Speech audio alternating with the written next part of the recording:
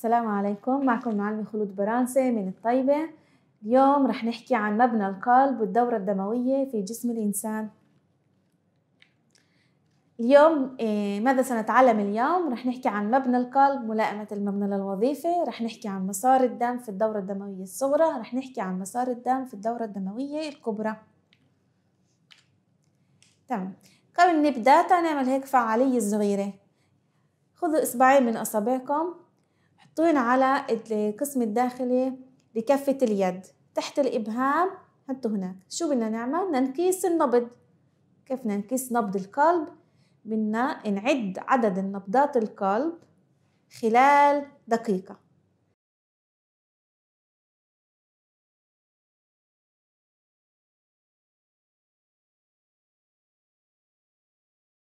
إذا القلب القلب هو مضخة بضخ الدم لكل أنحاء الجسم بمستوى سبعين نبضة في الدقيقة. إذا قبل عملت التمرين بالمعدل سبعين نبضة في الدقيقة هو عضو عضلي مرن وزنه تقريبا من واحد لاثنين بالمية من وزن آه، جسم الإنسان. هو موجود كيف ما أنتم شايفين بفراغ القفص الصدري هو محمي بأضلاع القفص الصدري. أوكي. القلب هو جزء هو عضو من آه، أعضاء اللي هن في جهاز النقل هو مسؤول عن توزيع المواد المحملة المحمولة بالدم بشكل دوري وباتجاه واحد فقط من القلب لأعضاء الجسم ومن أعضاء الجسم إلى القلب السؤال بدنا نسأله لإيش إحنا محتاجين لهذه المضخة اللي هي القلب ليش محتاجين مضخة اللي تضخ الدم؟ أوكي؟ الجواب هو إحنا بدنا الدم يوصل لكل خلايا الجسم بوقت سريع. فهاي السبب الأول إحنا بدنا قلب عشان الدم يوصل لكل خلايا الجسم سريع وكمان مشان نقدر نتغلب على قوة الجاذبية. كيف الدم بده يطلع لفوق يوصل للخلايا اللي موجودة في الرأس؟ فإحنا بحاجة لمضخة اللي توصل للخلايا اللي موجودة لأعلى يطلع لفوق ويتغلب على قوة الجاذبية ويوصل للأعضاء اللي هي موجودة لفوق. أوكي تعال نتذكر مسار الدم. كيف إيه الدم بيسري من القلب للأوعية الدموية وكيف بيرجع للقلب؟ إذا المسار هو من القلب للشرايين شعيرات دموية للوريد. من القلب شرايين شعيرات دموية وإلى الوريد. تعالوا نطلع هون على هذه الرسمة ونشرحها ونفهم بالضبط كيف مسار الدم وتبادل المواد مع الخلايا. إذا الدم بمر في الرئتين هنا من الرئتين بتم عملية تبادل غازات بين الدم وبين الشعيرات آه، الدموية وبين بين شعيرات الدموية حويصلات الرئة هنا بتم عملية تبادل مواد. بعدها من الشعيرات الدموية بمر دم غني بالأكسجين إلى الشرايين ومن الشرايين للقلب ومن القلب لكل خلايا الجسم. اللون هذا اللي بالأحمر بس عشان يبين إنه هنا عندي دم غني بالأكسجين. اللون اللي شوي بميل للأزرق هو الدم آه، فقير بالأكسجين وغني بثاني أكسيد الكربون. إذا إذا بنطلع كمان مرة هنا بتم عملية تبادل غازات بين حويصلات الرئة وبين الشعيرات الدموية. بنتقل دم غني بالأكسجين من حويصلات الرئة إلى الشعيرات الدموية ومن الشعيرات الدموية إلى الشريان ومن الشريان إلى القلب. قلنا إيه، تعريف الشريان. يعني عندنا إيه متأسفة. هنا اسمه وريد الرئوي. إحنا رح نحكي عنه لقدام. عندي بنتقل الدم غني بالأكسجين إلى القلب ومن القلب بنتقل بالشرايين إلى أو إلى كل خلايا الجسم. هاي شرايين اللي هي خارجة من القلب لكل خلايا الجسم.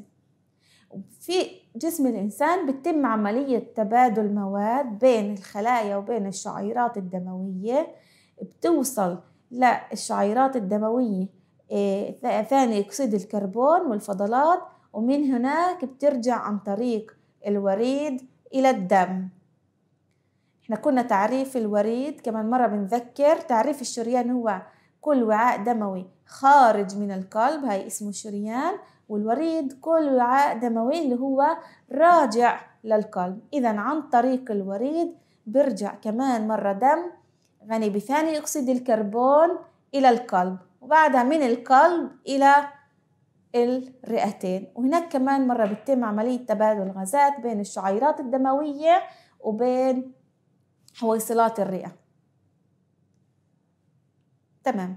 إذا في عنا هنا مصطلحين دورة دموية الصغرى ودورة دموية الكبرى. الدورة الدموية الصغرى هي بين القلب والرئتين ثم قلب والكبرى بين قلب وجسم قلب.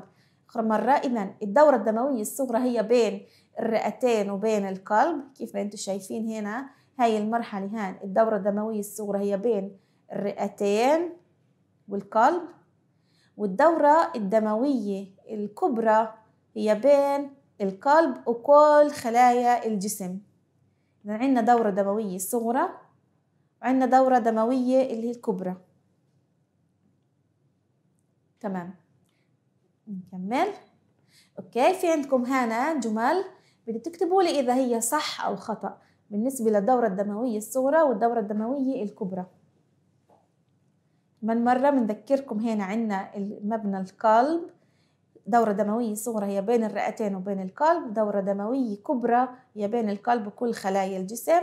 وزي ما أنتم شايفين وحكينا قبل شوي اللون الأحمر هو الدم غني بالأكسجين واللون الثاني هنا الأزرق بميل شوي للأزرق هو دم غني بثاني أكسيد الكربون. إذا بتنتبهوا شوي رح نحكي عن مبنى القلب. إذا بتنتبهوا القلب فيه جهتين جهة كلها بالأحمر جهة كلها غنية بالأكسجين والجهة الثانية اللي هي غنية بثاني أكسيد الكربون. هذه الجهة بنسميها هي الجهة اليسرى للقلب. هاي الجهة اليسرى للقلب وهاي الجهة اليمنى للقلب. بعد ما هسه حكينا عن الدورة الدموية الكبرى والدورة الدموية الصغرى وشوية عن القلب رح أعطيكم دقيقتين تحلوا هذا التمرين تكتبوا إذا الجملة صحيحة أو جملة خطأ. تفضل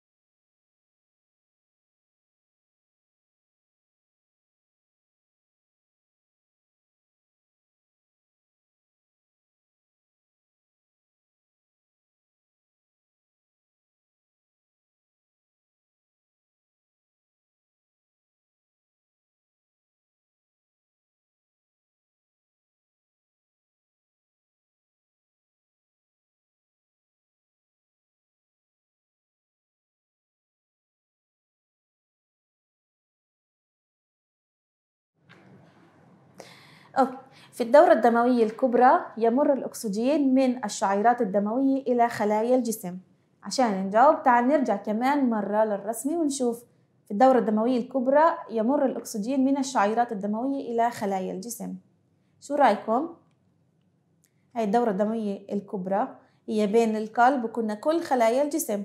إذا صحيح هي بين الشعيرات الدموية وبين كل خلايا الجسم. إذا في الدورة الدموية الكبرى هذه الجملة صحيحة. الدورة الدموية الصغرى هي بين القلب وبين الجزء العلوي للجسم. الصغرى هي بين القلب وبين الجزء العلوي للجسم.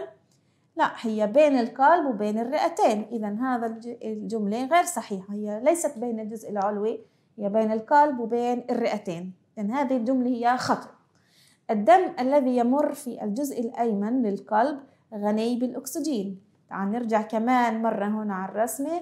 حكينا القلب هو مقسوم إلى آه، قسمين الجهة هذه بنقولها إحنا الجهة اليسرى.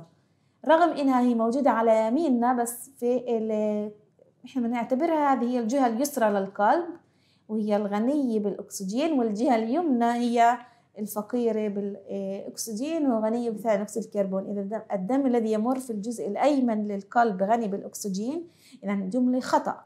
مش في الجزء الأيمن هي في الجزء الأيسر. الغني بالأكسجين. أوكي في الدورة الدموية الصغرى ينتقل الأكسجين من حويصلات الرئة إلى الشعيرات الدموية. في الدورة الدموية الصغرى ينتقل الأكسجين من حويصلات الرئة إلى الشعيرات الدموية. إيش رأيكم؟ نعم صحيح. إحنا حكينا الدورة الدموية الصغرى هي بين الرئتين إيه، وبين القلب. إذا بنتقل من حويصلات الرئة للشعيرات الدموية وبعدها إلى القلب. إذا الدورة الدموية الصغرى نعم هذه الجملة هي إيه، صحيحة. تمام؟ إحنا شوي رح نطلع استراحة. عشر دقائق ونرجع بعدها نحكي عن مبنى القلب.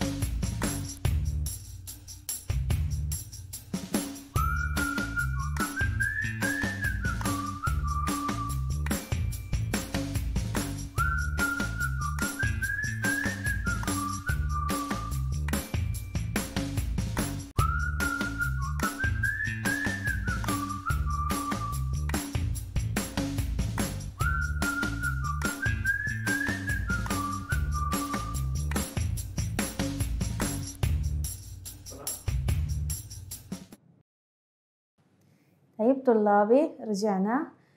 إيه، حكينا عن مسار جريان الدم وتبادل المواد في الخلايا. شفنا دورة دموية كبرى شفنا دورة دموية صغرى. عملنا تمرين وهسا لازم نحكي عن مبنى القلب. من إيش مكون القلب؟ وكيف بتتم عملية تبادل المواد جوا في القلب. لأن القلب إحنا حكينا إنه هو مضخة. القلب هو مكون من إيه، قسمين القسم الأيمن والقسم الأيسر. في بينهن حاجز. القلب مكون من أذين من أربع صمامات من أذينين بطينين. طلع علي طلع معاي على هذا الرسمة نفهم بالضبط من إيش مكون إيه مبنى القلب.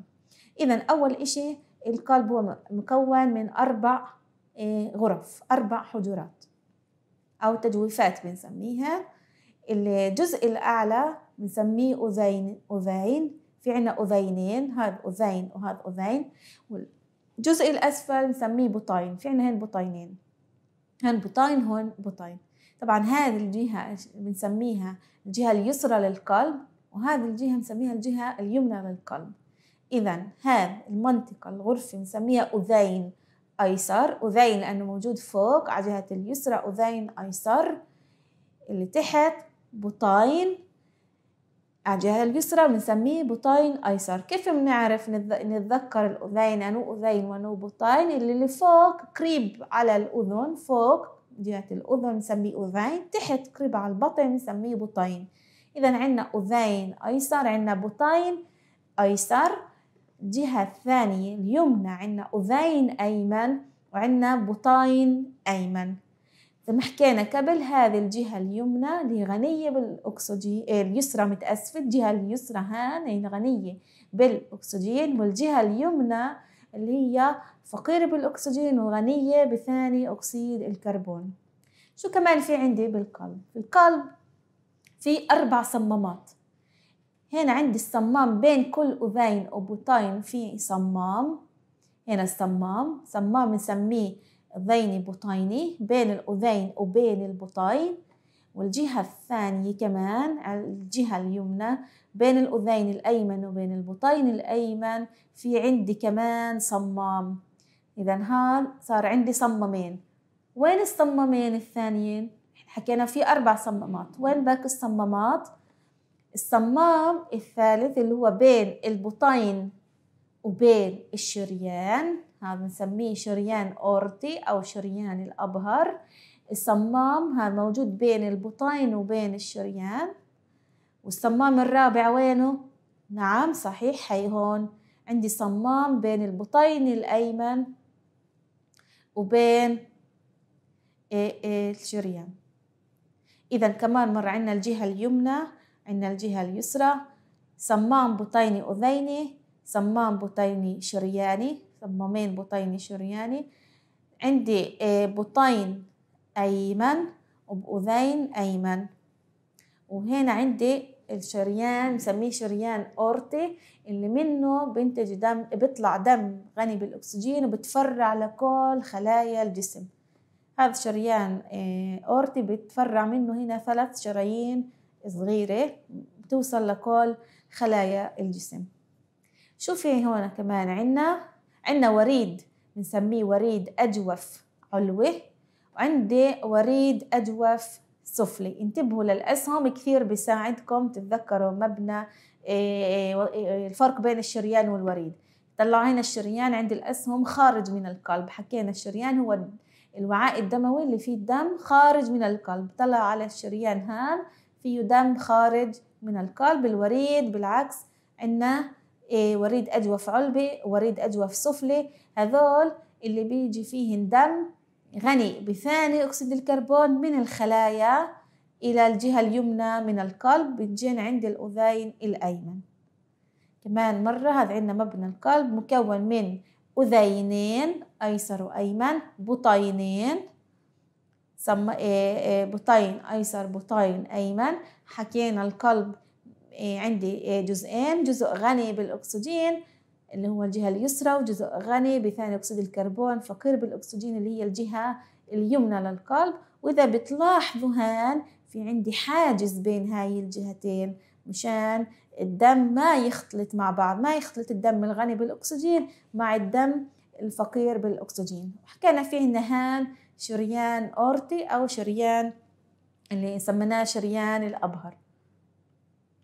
قبل لا نيجي لملائمة المبنى للوظيفي تعالوا هنا نحكي شوية عن الدورة الدموية الكبرى والدورة الدموية الصغرى وكيف وين بيوصل الدم وكيف بيطلع في مبنى القلب بعد ما عرفنا إيه، مبناه بالتفصيل. انتبهوا هان. هان عندي في الرئتين بتم عملية تبادل المواد مثل ما حكينا قبل بين حويصلات في الرئة وبين كريات الدم الحمراء إذا بتطلعوا هنا السهم اللي باللون الأحمر هو دم غني بالأكسجين لكريات الدم الحمراء. بعدها هذا الدم اللي باللون الأحمر كنا دم غني بالأكسجين. وين بده يوصل؟ الجهة اليسرى للقلب. ممتاز. فبمر عن طريق وريد الرئة. ليش طب هذا اسمه وريد؟ إحنا كنا الوريد تعريفه هو الوعاء الدموي اللي داخل إلى القلب. بما إنه داخل للقلب محمل بالأكسجين فايت على القلب بيوصل على البطين في الأذين فوق أذين الأيسر. بعدها من الأذين الأيسر في عندي هون صمام بينزل على البطين الأيسر.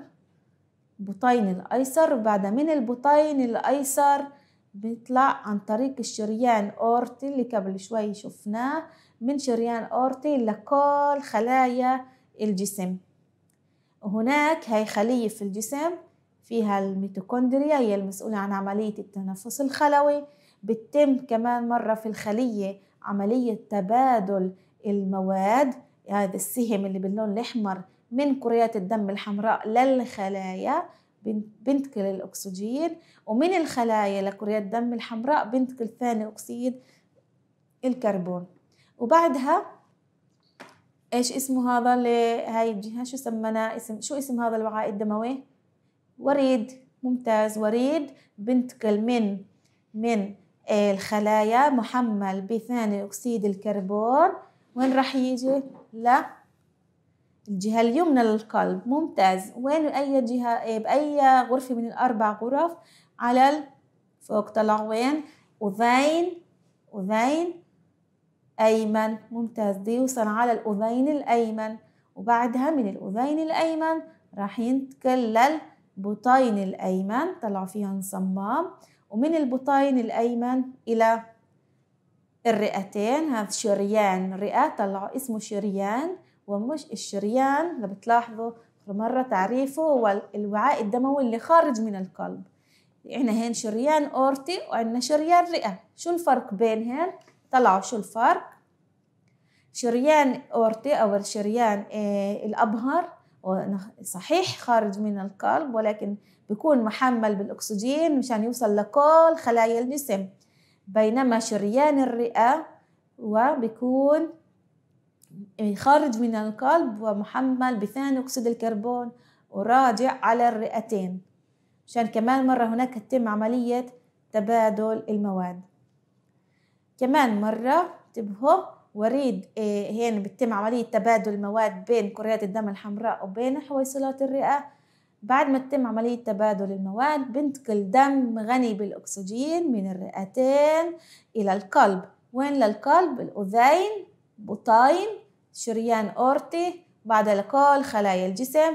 كمان مرة هين بتتم عملية تبادل المواد وبعدها من الخلايا بنتقل ثاني أكسيد الكربون لكريات دم حمراء بيرجع للقلب عن طريق الوريد الأجوف علوي بنسميه وريد أجوف سفلي بيرجع على الأذين الأيمن ومن الأذين الأيمن للبطين الأيمن ومن البطين الأيمن شريان رئة ولا رئتين.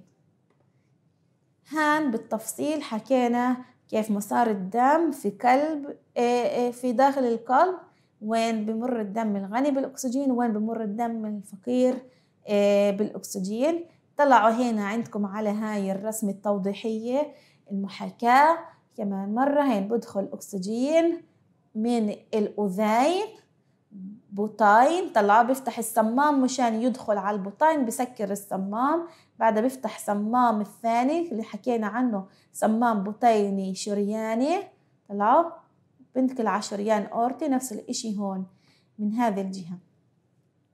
إذا القلب هو آه، عبارة عن مضخة كل الوقت آه، بتتم عندي عملية انقباض وانبساط آه، للقلب. طلعوا هنا في عنا فيديو قصير اللي إحنا راح نشوف فيه كيف بدخل الدم في داخل القلب وكيف بخرج منه. انتبهوا شوي أنا راح أشرح لكم وراح أوقف شوية وأشرح بالضبط شو اللي بصير طلعوا هاي الجهة كمان مرة الجهة اليسرى اللي هي فيها دم غني بالأكسجين والجهة اليمنى اللي فيها دم فقير بالأكسجين وغني بثاني أكسيد الكربون. هذا الصمام شو حكينا اسمه؟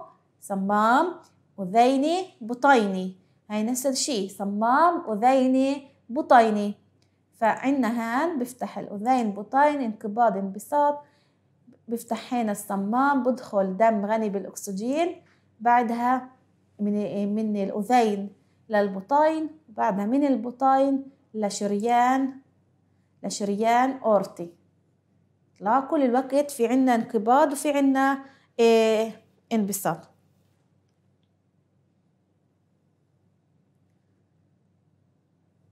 طلعوا كيف هين برضو عنا أخرى؟ صمام. هيو صمام. البطيني أذيني كيف ما أنتم شايفين. بدخل دم. بس باللحظة اللي بدخل فيها الدم من الأذين للبطين بسكر هذا الصمام. انتبهوا. بسكر الصمام عشان الدم ما يرجعش من البطين من البطين إلى الأذين. okay كمان مرة. شوف الفيديو. okay.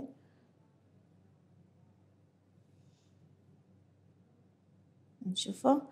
إذا في عنا عملية انقباض للقلب وبعدها في عنا انبساط للقلب. لما في عندي القلب آه، بينبسط هناك بيكون عندي ضغط الدم آه، آه، واطي.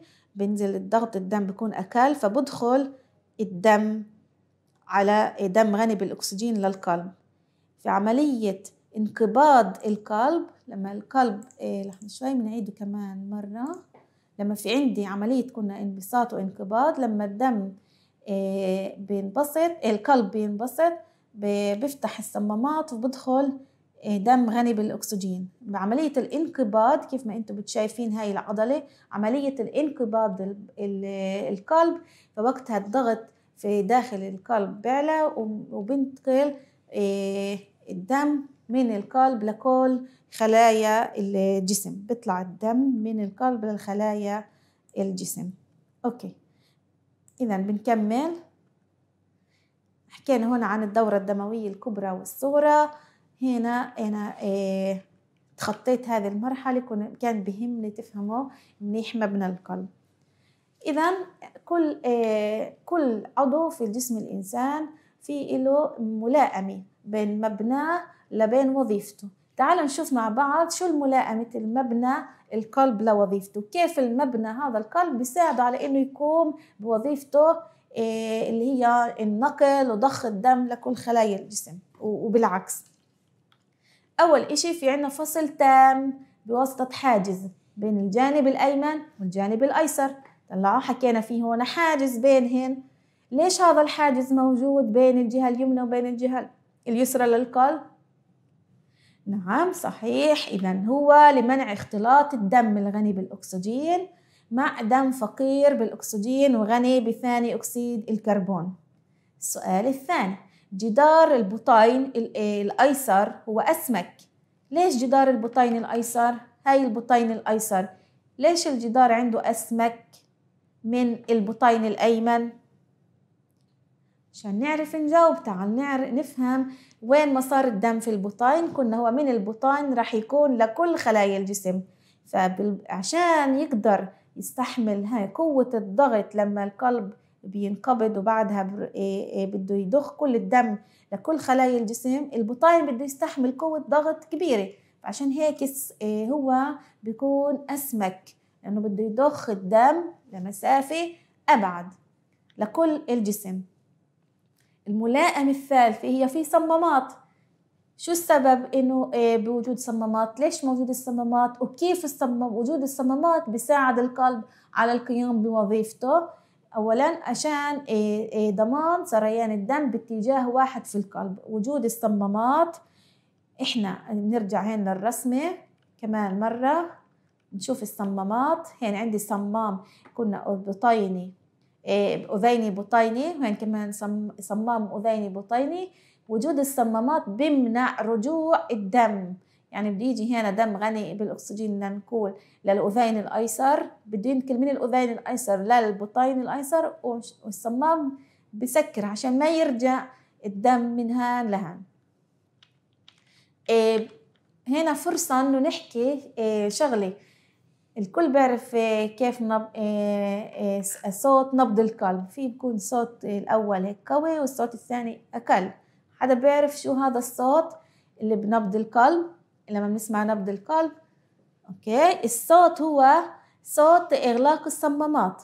الصوت الأول اللي بنسمعه هو لما الصمام بين الأذين والبطين بسكر الصوت الثاني اللي بنسمعه هو بين البطين وبين الشريان. ملائمة الثالثة هو وجود غشاء. القلب فيه له غشاء محيط فيه عشان يحميه من الإصابات. هاي إحنا هيك حكينا عنه. هن في عنا آه تمرين قدامكم في صورة آه باركود. اعملوا آه مسح لهذا الباركود اللي موجود واستمتعوا في اللعب في المشاركة في هذا اللعب اللي معنا. راح نعطيكم خمس دقائق استراحة. تشوفوا هذا التمرين وتستمتعوا في اللعب. تفضلوا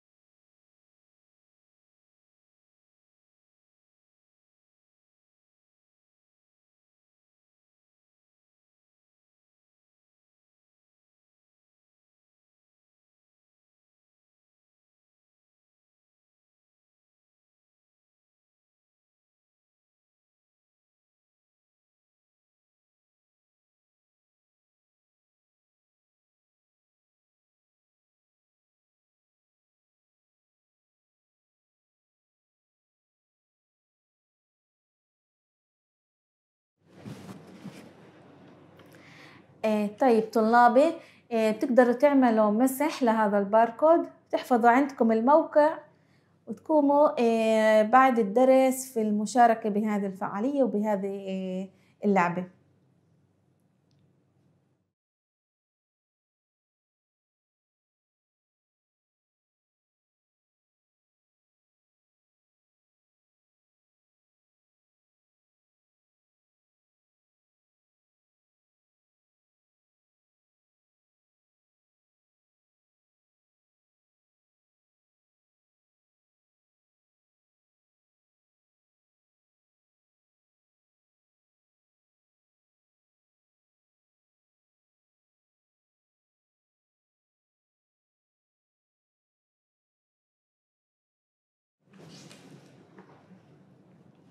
طيب طلابي الأعزاء إحنا رجعنا معكم كمان مرة.